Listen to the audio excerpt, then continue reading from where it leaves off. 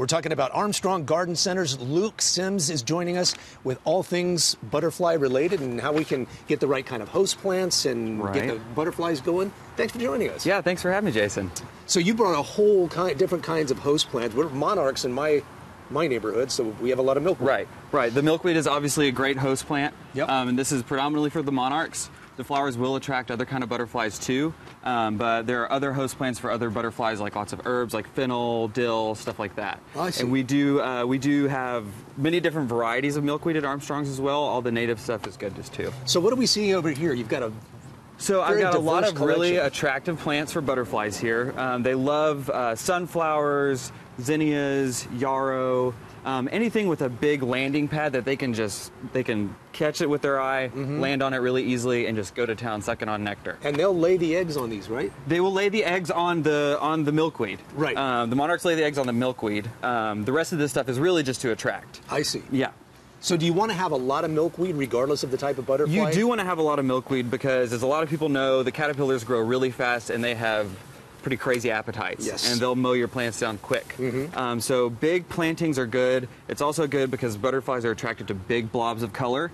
It really catches their eye. Um, and uh, come in, pollinate your garden, um, and they're really important for the ecosystem. And these can be potted as well, right? You can They do these on a patio. If they you don't totally the can be on a front of it. patio. Um, I would say with with California's growing urban landscape, if we could put a pot on every on every doorstep, that would help the butterflies a lot. And you mentioned the colors. I mean, once they see the colors, that's going to attract them. Right, right, and colors predominantly red, yellow, orange, um, and purples are the best attracting colors for butterflies. what other kind of butterflies can we facilitate here? Is, So there, there are, I mean, there are painted ladies, there's monarchs, queens, western swallowtails. There's actually over 150 species of butterfly here in Southern California alone. Wow. Yeah, yeah. Wow. Okay. So what do you recommend as far as like this is like a window box, So this is a window box here, and I got some gloves here for you if you want to stick some plants in here. No, man, I'm good at this.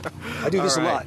So the the important thing is you need lots of color to attract. That's why I've got these marigolds here. Mm-hmm. Um, and the bacopa, the white stuff, isn't super attractive, but it is great for. It's got they're full of nectar, and once they see these marigolds, they'll they'll go straight for the bacopa as well. Um, So you're gonna drop a milkweed in Now we are going to put a milkweed in here. This is the important host plant. Mm-hmm. Keep the caterpillars nice and happy. So we're just going to stick this sucker in there. We'll work a little soil around it. Why don't you stick your hand in there and get it dirty? it.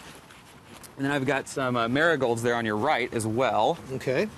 And you can just pull one of those out of the pack there.